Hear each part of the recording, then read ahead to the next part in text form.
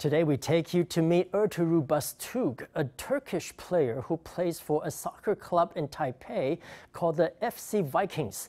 Bastug played soccer in Turkey, but due to a knee injury, he took a few years off to travel around Asia. He came to Taiwan in 2020, fell in love with the country, and started playing for the FC Vikings. The team recently won first place in Division 2 and moved up to the Premier League. FTV reporter Stephany Yang has the story. Coming soon. He warms up with his coach, discussing different tactics. This is Ertuğrul Bastug from Turkey. He's a player for FC Vikings. The team recently placed first in Division 2 and moved up to the Premier League. Started to play football when I was kids, seven or eight years old, and then Turkey.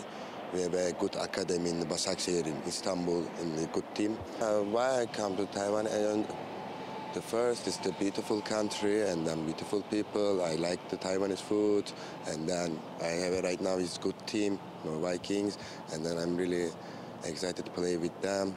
And then last last season we got the champions for Vikings, and then I'm super happy. Bastug grew up in Turkey, where he started football training at a young age. Due to a knee injury when he was 19, he took a break and traveled around the world. He moved to Taiwan in 2020 after visiting over 20 countries. He decided to stay in Taiwan and continue his dream of playing football. I, I got the injury when I was 19. My knee is broke and then after I stopped one or two years in the football. And then after when I travel Asia and then uh, football is the, my dream. And then I want to try it again again again. Right now I like the my KG or everything is good like football player. And then this year I will show them my best for Vikings. More than 28 or 30 or something around Asia, Central Asia, the Balkans, Europe, the Middle East. I travel around there. And then after I come to Taiwan, I meet Vikings, and then I start football again. Johnny Nielsen from Denmark and his wife Hope Tai founded FC Vikings in 2010 to make football more accessible. Over the 13 years, they have provided free football training for elementary school students up to adults. Last year, the team invited Oliver Harley to serve as a head coach. Harley is from Jamaica and has lived in Taiwan for 20 years coaching football. Under his leadership, the team won first place in Division 2. My football philosophy, um, well, football has been my life from a child. So I don't really separate football from life. And my coach has always told me that football is life and everything that happens on a football field happens in your life. So I try to let my players know that um, all the principles and the character that they need in life should be demonstrated on a football field and vice versa. So they need to be honest people, upstanding people, help others, you know, um, which is part of football as well. You work as a team.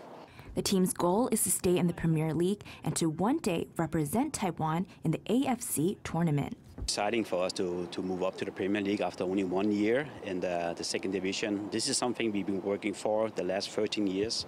So when we started uh, 13 years ago, many of the kids that started with me at that time, they're now going to play Premier League. So it's, it's, a big, big thing for us.